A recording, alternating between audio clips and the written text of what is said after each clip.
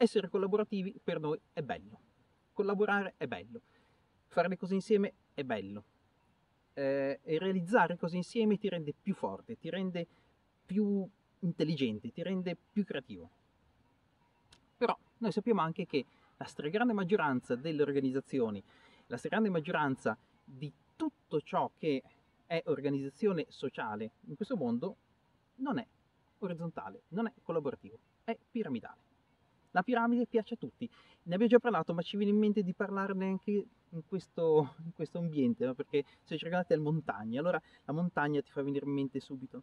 E, ehm, e certo, il modello piramidale sembra, sembra, una soluzione a tutti i problemi, no? perché c'è la piramide e quindi c'è la crescita, tu parti da sotto ed è bello scalarla, no? Fare carriera, sapere che poco per volta stai salendo e ogni giorno sei un pochino più in alto del giorno prima, ogni sei mesi sei un pochino più su di dove eri prima. E ehm, alla fine sei al vertice oppure puoi essere sotto e non ti preoccuparti di niente. Però quello che eh, vi volevamo dire oggi è che chiamare modello piramidale il modello piramidale è un imbroglio. Non è vero?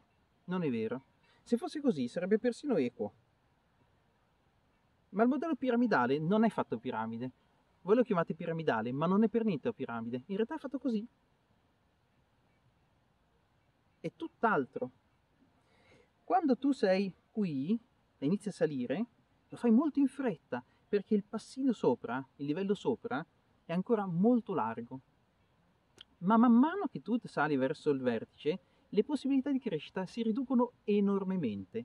Non è una piramide, è un imbuto, è una struttura fatta in maniera totalmente differente. Ci sono poche posizioni di vertice e tante posizioni alla base. Quindi se vi piace il modello piramidale perché pensate che sia bello far carriera, bene, sappiate che c'è tanta base e poco vertice. È veramente così bello il modello piramidale?